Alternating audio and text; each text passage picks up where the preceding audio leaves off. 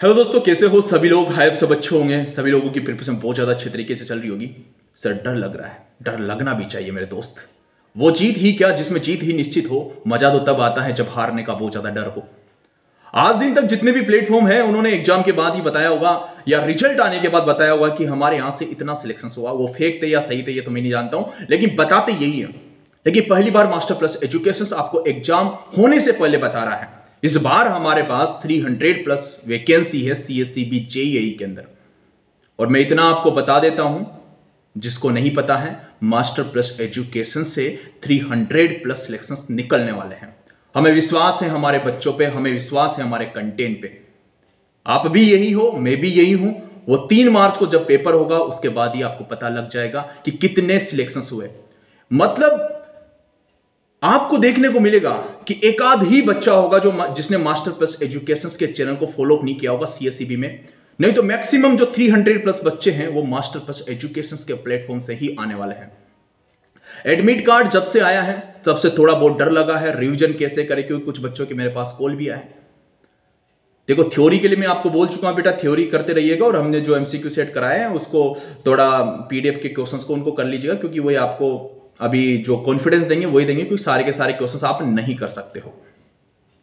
और दूसरी बात, हमारे पास यहाँ पे ध्यान रखना है, जब आप एग्ज़ाम देने जाओगे तीन तारीख को तो बच्चे होते हैं कि सर, साठ क्वेश्चन अटेम्प्ट कर लेते हैं, सत्तर क्वेश्चन अटेम्प्ट कर लेते हैं, ये आप गलत करोगे, आप सिलेक्शन से बाहर चले जाओगे। आपको ऐसी गलतियाँ नहीं करनी है।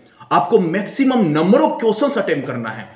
मतलब नाइनटी अबाउट यार देखो, ज़्यादा अटेम्प्ट करोगे ना तो कुछ नेगेटिव मार्किंग में भी चले गए तो इतना इफ़ेक्ट नहीं पड़ेगा। लेकिन आप अटेम्प्ट करके आओगे साठ सत्तर क्वेश्चन और साठ सत्तर क्वेश्चन में से भी आपको पता है पूरे के पूरे करेक्ट होंगे। नहीं होते, उस हड़बड़ी में कुछ ना कुछ तो गलत होंगे। इसलिए कम क्वेश्चन अटेम्प्ट करने की गलती बिल्कुल भी मत करना। अगर आपको लगता है बी और सी में कंफ्यूजन है कि यार बी होगा सही होगा सी होगा, जिसमें आपको ठीक लगता है उसको लगा दीजिएगा। क्योंकि यूनिवर्सिटी का एग्ज़ाम नहीं है, दोस्त, एक कॉम्पिटिशन का एग्ज़ाम है। कुछ एजम्पन भी यहाँ पे लगता है।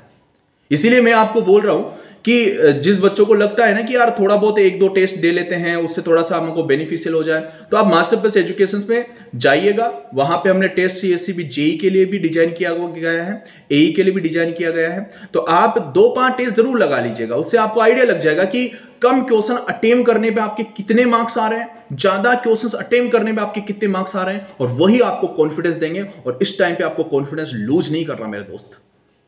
बस रिवीजन तगड़ा करना है। और रिवीजन थ्योरी का करना स्टार्ट कर दीजिएगा। और जो हमने धनुष बेज में ट्वेंटी एमसीक्यू सेट दिए थे ना दोस्त, उसके पीडीएफ पीडीएफ भी वहाँ पे अवेलेबल है। तो कॉन्फिडेंस के लिए उन क्वेश्चंस को साथ में कर लीजिएगा। एक बार रिवाइज भी हो जाएगा तो उससे अंदर भी आपके अंदर कॉन्फिडेंस आ जाएगा, क्योंकि वो हमारे एक्सपीरियंस के क्वेश्चंस थे।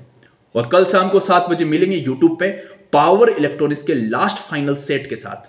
तो सभी बच्चे रेडी रहिएगा। ध्यान रहेगा कोई भी बच्चा मिस नहीं होना चाहिए। जिन्होंने तीन सेट नहीं देखे हैं, देख लीजिएगा। वहाँ से आधे पावर टोन्स के क्वेश्चन आपको देखने को मिलेंगे वहाँ पे। ओके हो सकता है उससे ज़्यादा देखने को मिले। मतलब मतलब आधे तो देखने को मिलेंगे आपको। चलेगा thank you take care love you and goodbye